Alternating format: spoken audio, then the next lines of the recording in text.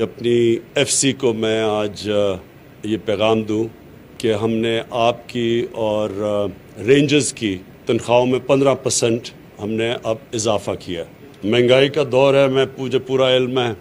बदकस्मती से सारी दुनिया के अंदर एक सैलाब आया हुआ है महँगाई का। हमारे पास वसाइल नहीं, लेकिन अमेरिका जैसा मुल्क, बरतानिया जैसा मुल्क, जो नोट प्रिंट कर सकते हैं वहाँ 40 साल के बाद सबसे ज़्यादा महँगाई की लहर आई हुई है। बरतानिया में जो जो भी अपना पाउंड यानी अपनी करेंसी प्रिंट कर सकता है, वहाँ 30 साल के बाद सबसे बड़ा आया हुआ है। तो मुझे पूरा एहसास है कि हमारे जो तनख्वाहदार तबका है, वो तकलीफ़ में है। और मैं आपको यकीन दिलाता हूँ कि पूरी मेरी कोशिश है कि हम मुल्क के माशी हालात उधर तक ले जाएँ कि हम लोगों की आमदनी में इजाफा कर सकें। कई चीज़ें हम नहीं कुछ कर सकते। मसलन अब तेल महँगा हो गया। तेल दुगने से भी ज़्यादा हो गया।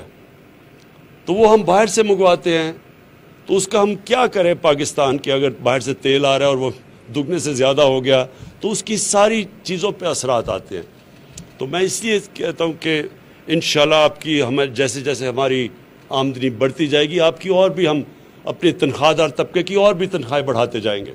जो हमारे बिज़नेस में बड़ी बड़ी कॉरपोरेशन हैं, उन्होंने रिकॉर्ड प्रॉफिट्स बनाए जो टॉप सौ कॉरपोरेशन हैं, हम देख रहे थे, उन्होंने तकरीबन साढ़े नौ सौ अरब रुपए का प्रॉफिट बनाया है उनको जो नफ़ा हुआ है। तो उन सबसे मैं अब दरख्वास्त कर रहा हूँ कि वो अपने लोगों की, अपने काम करने वाले जो तनख्वाहें लेते हैं, सबकी तनख्वाहें बढ़ाएँ।